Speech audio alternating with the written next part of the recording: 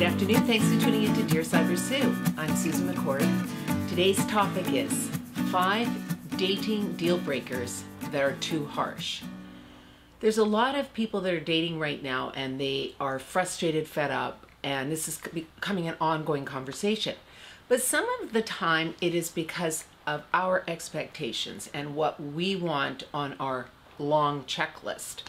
And this is I'm, I'm hearing this from so many men and women that it's becoming a bit of an ordeal because what's happening is people are going out, they're having a date, and they're finding all these things that are wrong right away.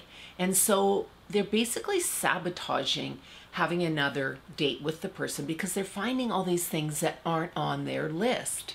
So what's happening is you should always have deal breakers and expectations, boundaries, all that stuff when you're looking for a partner. But you also have to be realistic. And not everybody has all the perfect qualities.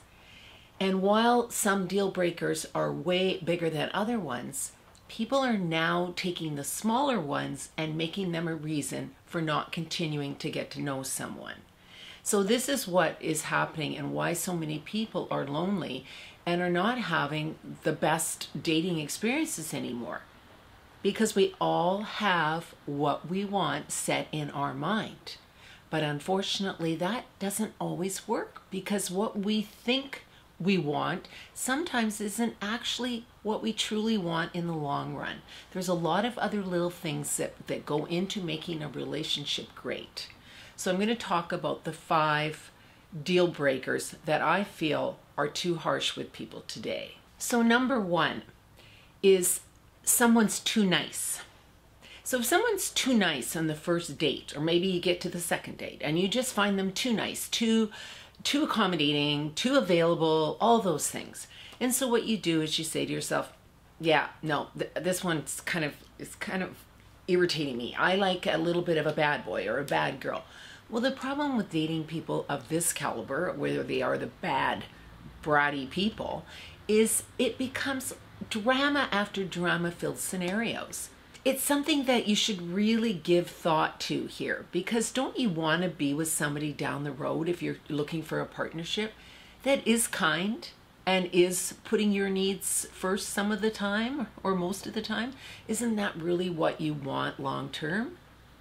I know it's hard to to really look at somebody if they're just so sort of needy and clingy and all that. I'm not really talking about those people. I'm talking about the person that's just nice. You get what you you know, they are who they say they are and all these things, but they're just not that exciting for you on the first date. Please give them a chance. Do two or three more dates and just see because if there's good qualities and you actually were attracted to them in the beginning, chances are it's still there. It's just you are already putting in a generalized thought in your head. Oh, can't be with somebody too nice. It'll be boring. It's not always boring. Number two, they always have to pay for everything. Now, I know this one sometimes can be a bit more female sided here, but the thing is, why should anybody have to pay all the time? Now, I know there's a lot of people out there who will say, well, that's just the way it is when you first date somebody. Yes, I would say that if the person asks you out, then they should pay for the date. But women ask men out occasionally now. And so I think whoever asks out should at least offer to pay. But I don't think there's anything wrong with both people contributing something to a date. I have talked to a few people who have said to me that they don't like the fact that they had to pay for this or had to pay for that on on a date when really that person has paid for everything up until that point. I don't think that's right that you judge somebody based on their wallet and how much they're willing to to pay for. Don't you want a relationship that's got more substance to it and more where you are on a sort of equal footing to a lot of the areas. I know that sometimes one person in a relationship makes more money than the other and you pool your, your things together, well, that can come at a later date. But if you're already putting that on your checklist that they have to pay for every single thing, you're going to probably screw your chances of, of being able to be with somebody who's really a great person. So think about that. It's nobody's job to pay for you for every little thing. Now, this one, number three, is going to get some people making comments, I'm sure. But sexual gratification, instant sexual gratification, should not be always expected. Sometimes it's really worth the wait because a lot of people, and this I find with women especially, when they do have a sexual situation with somebody, it changes things for them. They become more emotionally attached to to you if you're the one that wants the sex right way. And so what can happen is it can change up the dynamic really early on the expectations of what maybe she wants in the relationship. Take time to get to know who they are inside because you may have sex with them then get yourself into a situation where now they're attached to you and you decide, oh, I don't know if I really like them. I don't really know them. So please take time. Don't want instant gratification in any department. Get to know them a little bit. See if you like each other.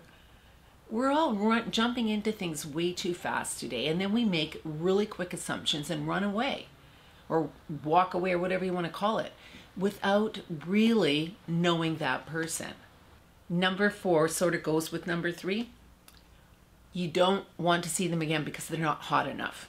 You don't feel that that powerful, powerful attraction to them. But the problem with it is sometimes we judge people completely on their exterior rather than who they are as a person. So what happens, we'll go on a date with them. Yeah, they're not hot enough for me. I want I want this, I want that. We have a type. And when you have a type and it's not working out for you all the time, you need to sort of look at what's going on here. You're you're attracted to the same person that isn't working for you. Now, you're looking for a relationship that's why you're here at this video. So if you're looking for a relationship, you don't want to repeat any patterns that haven't worked for you in the past. So if you have a type or you only want, you know, the hot, hot person, you're going to end up in the same result every single time because you're only putting one thing into what you want in a relationship. That's your priority. And so what happens if that's not there, you don't let the other things come in and make you eventually really like that person because you've judged everything on sexual chemistry right away. So be very careful of that one. And number five, they're independent and have their own voice. Now, this can really bother some people because they don't want to have somebody that they're challenged by. But when you think about it in a relationship, don't you want to have some fun conversations that you don't always agree with each other, but it makes you think and you make them think because you're sort of being challenged by just their personality, their independence of who they are as they stand alone. So you just have wonderful conversations all the time. You have discussions. You actually both have an opinion and you actually appreciate their opinion. It might not be completely what you're thinking, but that's okay because they're being who they want to be and they're expressing who they are. And that's when you know you have a great relationship, when you both feel comfortable enough to express and discuss things truly to who you are. Because you want to be yourself. You don't want to be giving giving up anything for somebody else. You both want to be able to compromise and be yourself in a relationship. So, in closing, here, the, those are the five that I feel are fairly important. Now, you probably have your own five. There's a lot of things that you should put out there as a deal breaker. You know, any abusive stuff or any controlling issues, all those kind of things. You want to make sure they're a deal breaker. But sometimes people have really strong deal breaking uh, um, views that are could be altered a little bit. It doesn't have to be that strict on what you will or won't allow in your life. You want to be able to meet somebody and eventually have a relationship. So be open. Don't have a type that you only go for the same thing. Change up your thinking a little bit here. If you're having a tough time dating and you're really ready for a relationship, think about what you've done in the past and just make a few alterations because I really think it will help you. Sometimes we don't know that we're repeating this sort of scenario about what we want and what we don't want in a relationship. And it's actually the biggest problem as to why we're not meeting somebody. Thank you so much for tuning in to Dear Sybersue today. I really appreciate you watching my videos. Please subscribe if you haven't already done so and click like and please leave any comments or sh show suggestions that you have for me. Thanks so much everyone. Have a great day. Bye.